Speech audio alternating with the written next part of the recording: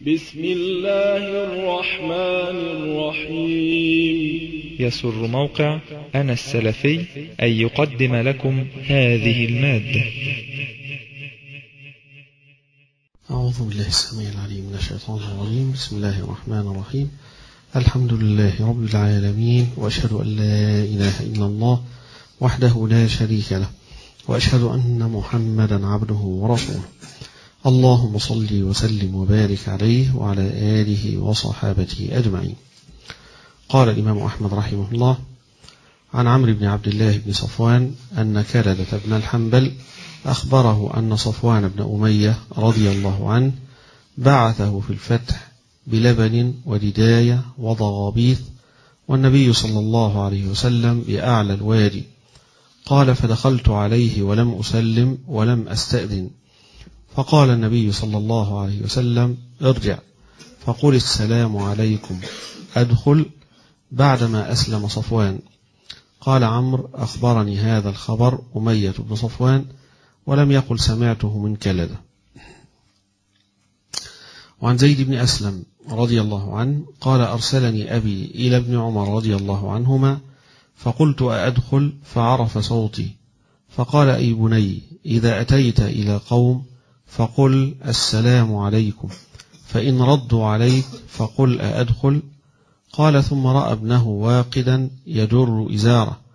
فقال ارفع إزارك فإني سمعت رسول الله صلى الله عليه وسلم يقول من جر ثوبه من الخيلاء لم ينظر الله إليه.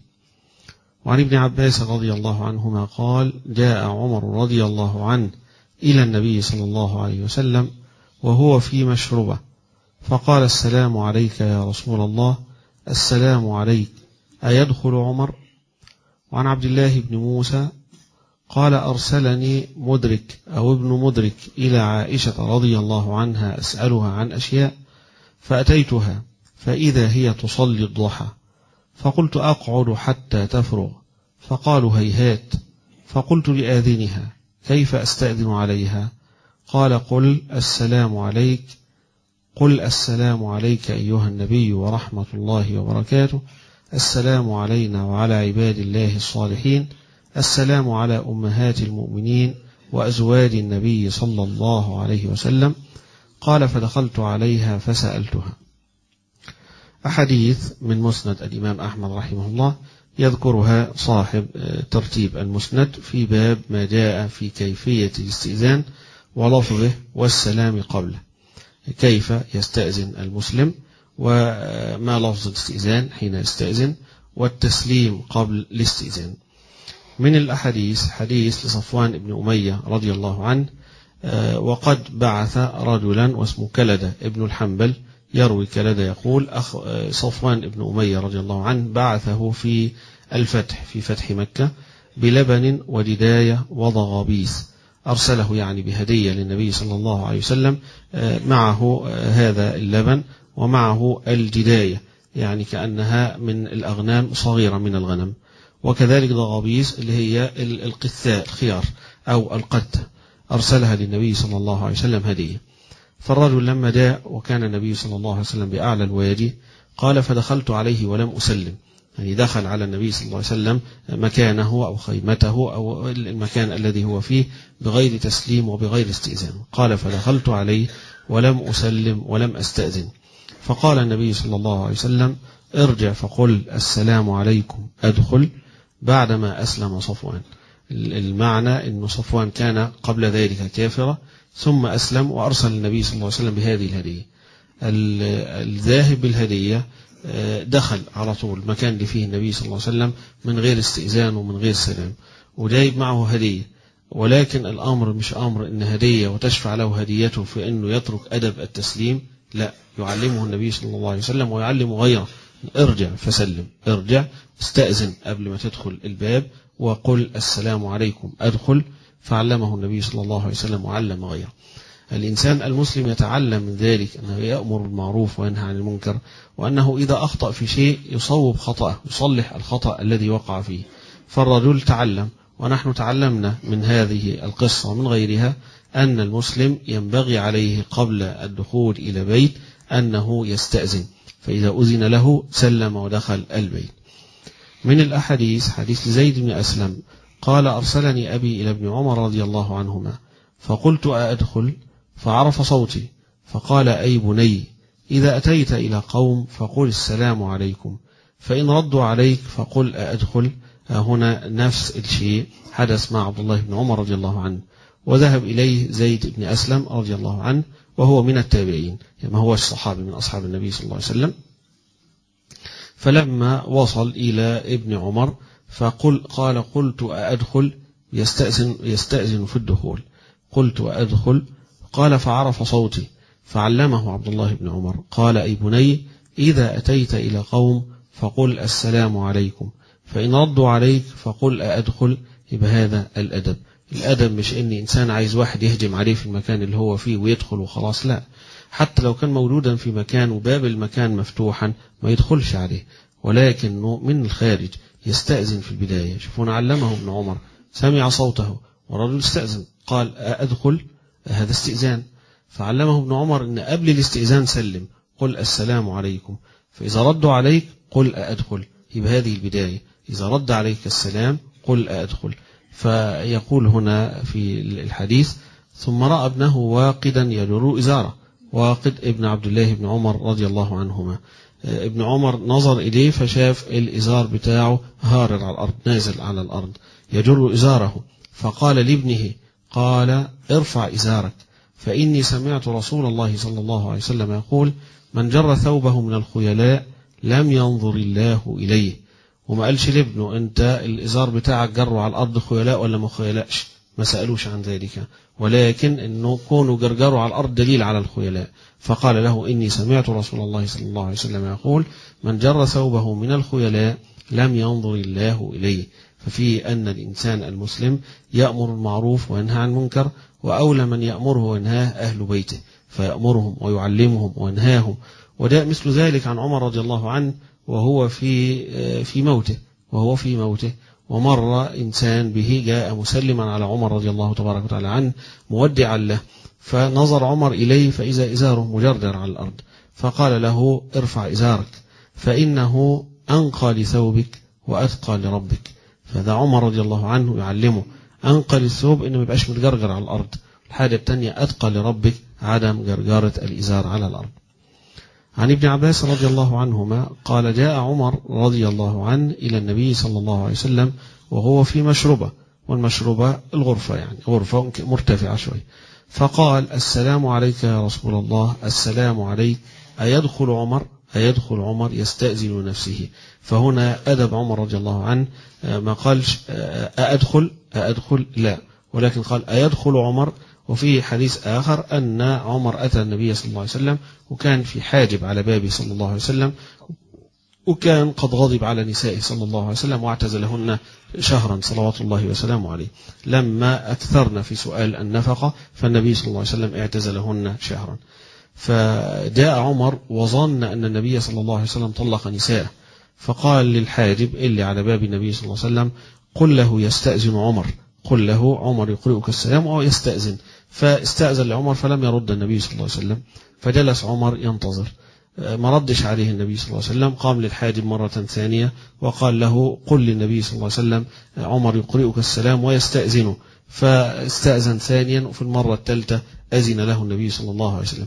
ففي أنه الأمر الاستئذان كونه يأمرك بالاستئذان دليل على أنك تحت خياره خيار الذي تستأذنه. إن شاء قبل وإن شاء رفض وإلا ليه الإذن أمال؟ الإذن مش لأني أستأذن على الإنسان يبقى لازم يأذن لي لا. الإذن جعل لأن له اختيار.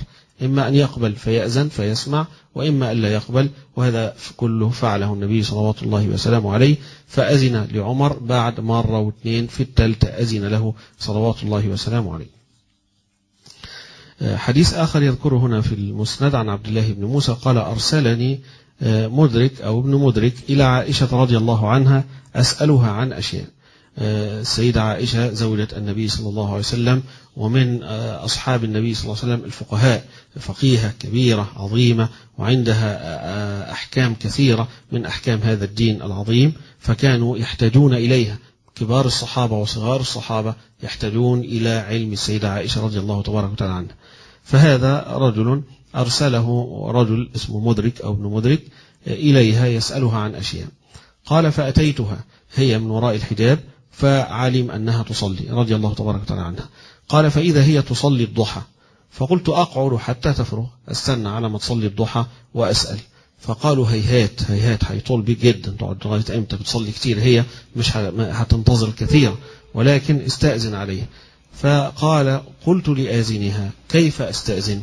يعني للحاجب اللي هيأذن لي بالدخول لأسألها. كيف؟ وهذا من الأدب أنه استئذان على أمهات المؤمنين قبل الدخول يستأذن ويتعلم أدب الاستئذان على النساء وعلى أمهات المؤمنين رضي الله عليهم. قال قلت لآذنها كيف أستأذن عليها؟ فقال قل السلام عليك أيها النبي ورحمة الله وبركاته السلام علينا وعلى عباد الله الصالحين السلام على أمهات المؤمنين وأزواج النبي صلى الله عليه وسلم السلام عليكم. طب الصيغة دي كلها ليه؟ ليه هذه الصيغة؟ لاحظ السيدة عائشة في غرفتها. غرفتها مدفون فيها النبي صلى الله عليه وسلم ومدفون فيها أبو بكر فمش هيليق أنه يدخل ويسلم على عائشة من غير ما يسلم على النبي صلى الله عليه وسلم اللي موجود في هذا المكان جسده الطاهر صلوات الله وسلامه عليه. فعلمه أن يقول ذلك. تدخل الحجرة اللي فيها النبي صلى الله عليه وسلم تبدأ بالنبي صلوات الله وسلامه عليه فتقول السلام عليك أيها النبي ورحمة الله وبركاته. السلام علينا وعلى عباد الله الصالحين. في الغرفة موجود أبو بكر الصديق رضي الله عنه مدفون فيها. فكذلك مدفون عمر بن الخطاب لكن لا أدري هل هذا أدرك أنه في في عهد عمر ولا بعد عهد عمر رضي الله عنه. لكن الغرض أنه علم أن يقول ذلك. طالما هتدخل هذه الغرفة اللي مدفون فيها النبي صلى الله عليه وسلم يبقى قل ذلك. التسليم قال وأزواج السلام على أمهات المؤمنين وأزواج النبي صلى الله عليه وسلم. السلام عليكم. قال فدخلت عليها فسألتها وذكر الحديث. فيه الأدب أن الإنسان يستأذن. إن كان لا يعرف كيف يستأذن يقوم يسأل. وشفاء العي السؤال كما قال النبي صلى الله عليه وسلم. من الأبواب هنا باب الاستئذان ثلاث مرات أو مرار فإن لم يؤذن له فليرجع. الإنسان بيستأذن على آخر فيستأذن كم مرة يستأذن؟ رايح له بيته يرن عليه جرس مثلا. كم مرة حيرن عليه الجرس هنا مش هتقف تعلق إيدك على الباب ترن الجرس لغاية ما يطلعوا لك بالعافية. مش هتقعد 20 مرة ترن هنا. ودي من الآداب المفقودة الآن بين المسلمين. آداب مفقودة. تلاقي البعض من الناس يجي لشيء فيقوم يرن الجرس. ما يردوش. يمكن سامعين يمكن مش سامعين طب أرن تاني. أرن تالت. أرن عاشر. أرن عشرين. أخبط بحجر على الباب. أزعق ونادي من الشارع. هذا من سوء الأدب. من سوء الأدب. لكن الأدب إن ثلاث مرات ما تزعجش الناس.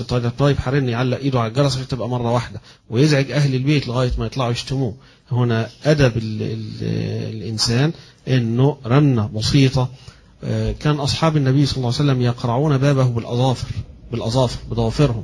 ها مش بكفه مش بطوبة ولكن بالأظافر على باب النبي صلى الله عليه وسلم. منتهى الأدب مع رسول الله صلى الله عليه وسلم. فيتعلم الإنسان كيف يستأذن على الناس.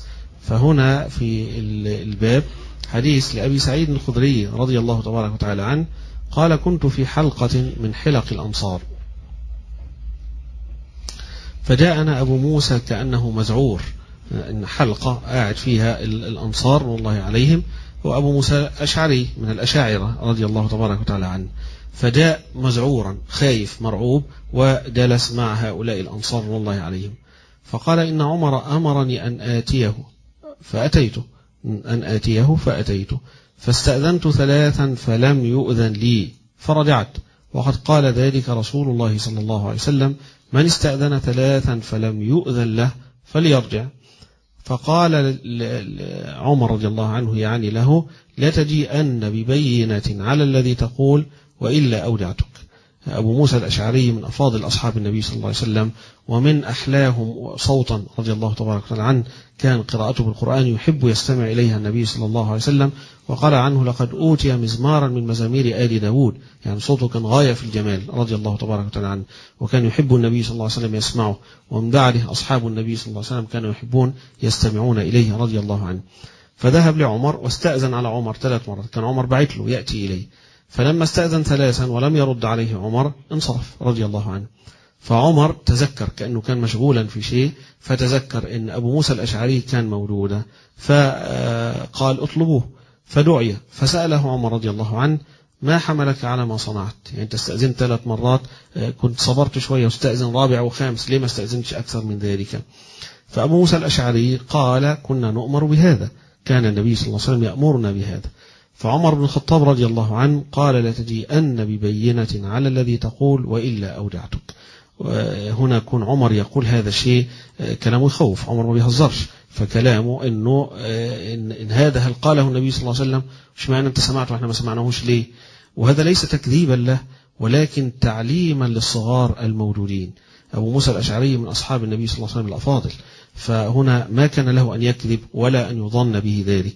ولكن أراد عمر إن مش أي حد يتكلم على النبي صلى الله عليه وسلم فيبدأ بنفسه ويبدأ بأصحاب النبي صلى الله عليه وسلم بحيث إن ما يجرؤش حد يقول قال النبي صلى الله عليه وسلم إلا وعنده بينة. فمقصد عمر إياك أعني واسمعي يا جارة. يعني بيهدد أبا موسى وهو عالم في نفسه أبو موسى صادق مش كذاب. رضي الله تبارك وتعالى عنه. ولكن أراد إن ما حدش يجترئ فيحدث عن النبي صلى الله عليه وسلم إلا بيقين. فأبو موسى الأشعري رضي الله تبارك وتعالى عنه فزع مما قال عمر إنه هتجيب بينة تجيب شهود يشهدوا لك ولا هضربك فعمر ما بيهزرش. فذهب جري للأنصار رضي الله عليهم وجلس بينهم وأخبرهم بهذا الشيء. مجلس الأنصار كان جالس فيه أبي بن كعب رضي الله تبارك وتعالى عنه. وأبي بن كعب من كبار أصحاب النبي صلى الله عليه وسلم ومن أفضلهم. وكان يلقب في حياة النبي صلى الله عليه وسلم بسيد القراء بسيد القراء وبسيد المسلمين رضي الله تبارك وتعالى عنه. هذا بعد النبي صلى الله عليه وسلم. كان يلقب بسيد القراء وسيد المؤمنين أو المسلمين. والنبي صلى الله عليه وسلم وصفه بأنه أقرأ هذه الأمة. أقرأ يعني أحفظ هذه الأمة للقرآن وأفضلهم في قراءة القرآن أتقنهم للقرآن. فجاء في مناقب أحاديث كثيرة منها ما روى الترمذي عن أنس رضي الله عنه قال النبي صلى الله عليه وسلم أرحم أمتي بأمتي أبو بكر وأشدهم في أمر الله عمر وأصدقهم حياء عثمان وأعلمهم بالحلال والحرام معاذ بن جبل وأفرضهم يعني أعلمهم بالمواريث زيد بن ثابت وأقرأهم أبي أقرأهم للقرآن يعني أحفظهم للقرآن وأتقنهم للقرآن أبي رضي الله عنه ولكل أمة أمين وأمين هذه الأمة أبو عبيدة ابن الجراح رضي الله تبارك وتعالى عن الجميع. فلما جلس أبو موسى وهو مزعور فبدوا أن هم يعني يزيلوا عنه هذا الهم ويضحكوا معه يهزروا معه رضي الله تبارك وتعالى عنه. فقال له أبي يطمئنه قال لا يقوم معك إلا أصغرنا أصغر واحد فينا عشان نوري عمر أن أصغرنا يعلم ما لا يعلمه عمر رضي الله تبارك وتعالى عنه. قال لا يقوم معك إلا أصغرنا. مين كان أصغرهم؟ كان أبو سعيد الخدري رضي الله تبارك وتعالى عنه.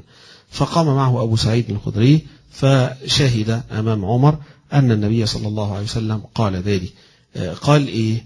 فذكر أنه إذا استأذن أحدكم أو قال من استأذن ثلاثا فلم يؤذن له فليرجع. من استأذن ثلاثا فلم يؤذن له يعني ليس من حقه أن يستأذن الرابعة والخامسة ثلاث مرات فقط يستأذن بعدها ينصرف وليرجع.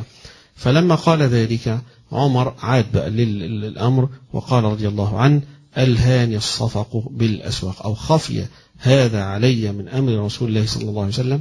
يعني هذا أمر كان خافيا علي ما كنتش أعرفه والاعتراف بالحق فضيلة. فعمر بن الخطاب رضي الله عنه ما هوش عارف كل حاجة في هذا الأمر ما سمعش كل أحاديث النبي صلى الله عليه وسلم ولكن سمع بعضا ولم يحضر بعضا فهذا مما لم يسمعه من النبي صلى الله عليه وسلم.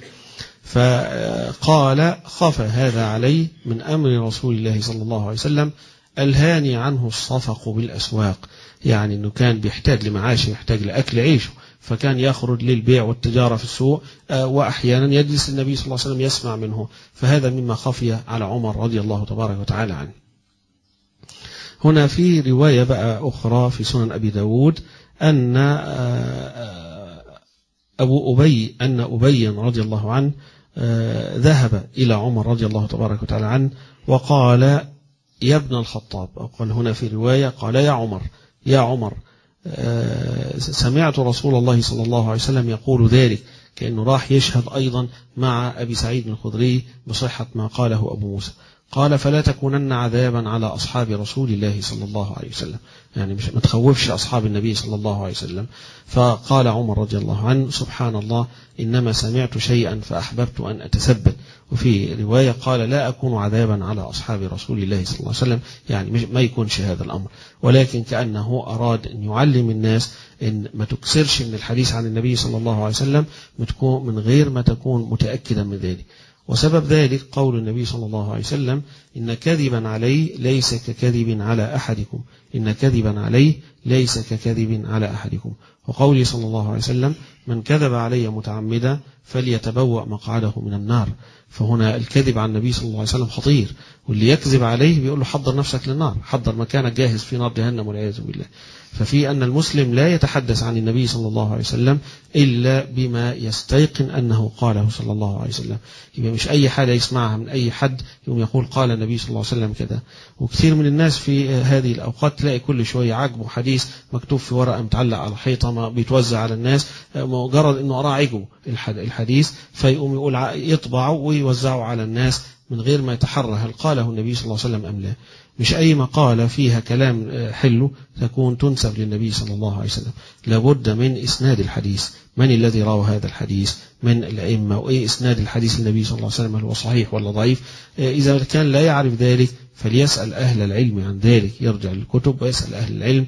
لكن انه مجرد ما لقى ورقه فيها حديث زي الحديث المزعوم عن النبي صلى الله عليه وسلم أن إبليس جاءه واستأذن عليه ودخل عليه وحدثه وكلم النبي صلى الله عليه وسلم وسأله النبي صلى الله عليه وسلم عن أشياء وجاوب إبليس هذا كله كذب على النبي صلى الله عليه وسلم. لا يصح. والآن تلاقيه بيتوزع في الشوارع هذا الشيء وكل شوية أخ جايب لي ال- الورقتين الثلاثه اللي مكتوب فيهم حديث طويل كله كلام آه، لا يصح عنه صلى الله عليه وسلم. وعجبهم الأسلوب اللي موجود فيه. فنوزع هذا على الناس توزع إيه؟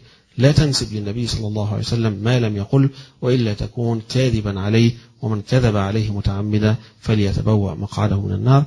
نسأل الله العفو والعافية في الدين والدنيا والآخرة. أقول قولي هذا وأستغفر الله العظيم. وصلي اللهم وسلم وبارك على سيدنا محمد وعلى آله وصحبه أجمعين.